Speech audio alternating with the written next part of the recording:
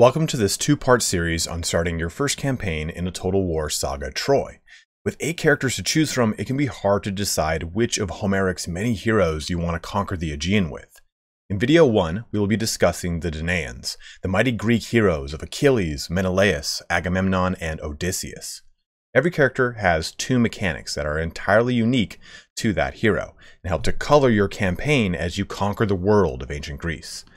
Together we will discuss each hero's mechanics at a high level, and I will give you a brief overview of the campaign's playstyle, starting with the mighty Achilles.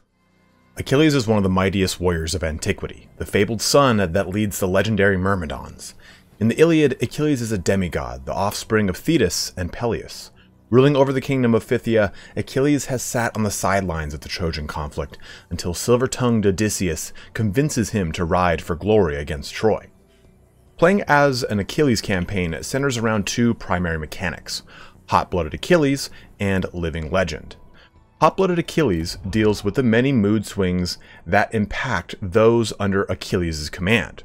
There are four different moods that Achilles has, proud, indignant, grieving, and outraged. These moods will become active like Proud is currently, based off of certain campaign events, such as spending too much time in a garrison, which will result in Achilles becoming more and more indignant. With each mood, there are a number of modifiers and penalties that accompany that disposition. Balancing Achilles' mood on a knife's edge will be the key to success in your victories across the Aegean. As a fabled hero of antiquity, Achilles' living legend mechanic plays upon the notion of increasing Achilles' legacy across all time. As his legend grows, so will his confidence, allowing Achilles to spread the influence of Phthia across the land, reduce the upkeep of maintaining his troops, and allow him to recruit more units at an instant as men rally to his banner. His confidence is increased by confronting or locating and defeating any hero in this unique list of challengers, chronicling his achievements in the Defeated Heroes section. With all that laid before us, you will enjoy an Achilles campaign if you're looking for a singular hero that is destructive in close combat and leads a smaller force of elite soldiers. Achilles' battle tactics are geared towards destroying the leadership of his foes at his own hand, while his unbreakable and highly maneuverable units outflank the opposition. Agamemnon, the older brother of Menelaus, commands one of the largest coalition of Greek states across the Aegean. Driven by an all-encompassing lust for power and glory, the king of Mycenae rallied the many kings of Achaea against Troy, determined to raze the fabled city to the ground in pursuit of his own bloody ambition.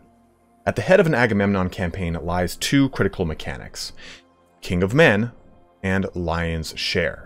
As an all-powerful king, Agamemnon's King of Men mechanic allows you to appoint the many heroes that you will recruit into your service to various high positions within a special royal court. A hero can be promoted to the rank of Akita, Tarita, or Rawakita, depending on their rank of 3, 5, or 8 respectively. The Akita, or companions, give your hero bonuses to their armies. The Tarita, or landowners, help with construction of buildings and stabilizing the populace.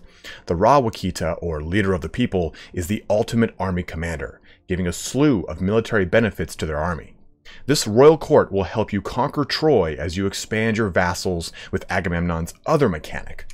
Lion's Share allows Agamemnon to demand a tribute from the many vassals he will create upon his epic mission towards the gates of Troy. The tax rate slider will allow you to control the amount of taxation on all of your vassals. In addition, you can demand the tribute of a single resource from a specific vassal, depending on your relation with them. Be careful, doing this too often can result in your relationship with the vassal deteriorating, resulting in outright conflict. With these two mechanics, Agamemnon's campaign focuses on expanding your territories through indirect conquest and vassalizing the many tribes of the Aegean. You'll have some of the heaviest and stalwart troops at your disposal, but this campaign is for the players seeking to conquer huge swaths of land. Shrewd and resourceful Odysseus, ruler of Ithaca, was a brilliant diplomat and a trusted advisor to the kings of Achaea. In the Iliad, Lord Agamemnon, in his hour of need, beseeched him to convince Achilles to rejoin the war effort. Unlike the previous two heroes, Odysseus is an archer and relies on his wit and guile to defeat his opponents more than the brute strength of Achilles or the overwhelming might of Agamemnon. Safe havens, one of the two special mechanics of Odysseus, allows his agents to steal away into enemy territory, creating a base of operations for the Lord of Ithaca to oh, recruit more soldiers to his side. This will aid you in expanding off of the island of Ithaca as you will be able to recruit more soldiers from within enemy territory, something no other hero can do. In addition to safe havens, Odysseus also has a mastery of the sea, unparalleled by his peers. The mechanic Coastal Mastery allows you to produce docks in your lands with expanded functionality. Normal heroes only get three tiers of docks, while Ithaca can have five tiers of shipyard, each one giving increased food production, growth, resource bonuses, and line of sight. Also, when the settlement is under siege, the besieged army can leave the settlement via the port. Lastly, the docks also grant Odysseus's armies the capability to recruit islanders, island club warriors, and heavy shielded spearmen at tiers 1, 3, and 4 respectively, some of his fiercest units. While Odysseus' mechanics might not be as intensive as the other Danaans, his campaign is heavily centered around manipulating diplomacy via spies and envoys. If you want the closest thing to a spy master in ancient Greece, Odysseus is for you. As a peerless archer, his soldiers are mostly light and medium units, relying heavily on their ability to ambush outrange and outmaneuver enemy forces on the battle map. This will most certainly test your skills as both a general and a governor, as Odysseus' campaign is one of the hardest. Glorious Menelaus, king of Sparta, was the younger sibling of Agamemnon and husband to Helen. When Paris seduced his wife and fled with her to Troy, Menelaus joined his brother's alliance and crossed the Aegean Sea, consumed by revenge. It is because of Menelaus that we have the conflict that we see all of our heroes in.